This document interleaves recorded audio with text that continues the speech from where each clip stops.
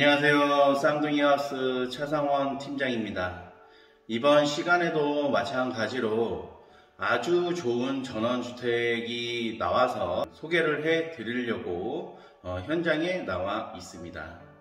지금 제가 보이시는 쪽이 제가 소개를 해 드리려고 하는 1층 부분이고요. 일단은 이 집의 대지 사이즈는 대지가 68평이고 도로 공유 지분이 하나도 들어가지 않는 그런 전원주택입니다. 건축도 철근 콘크리트 주택으로 지어져 있고요.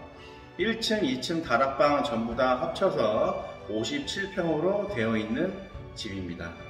기반 시설도 말씀을 드리면 도시가스, 상하수도, 오폐수 직관, 오폐수 직관은 이제 하수 종말 처리장으로 바로 가는 부분이기 때문에 아주 기반 시설이 좋은 전원주택이라고 보시면 될 것 같습니다.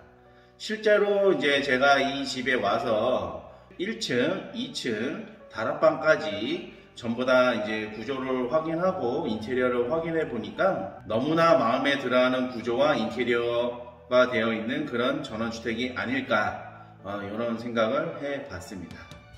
기본적인 설명은 여기까지 해 드리고요. 자세한 내용은 영상 마지막에 자막으로 또 넣어 드리도록 하겠습니다. 그럼 영상 출발하겠습니다.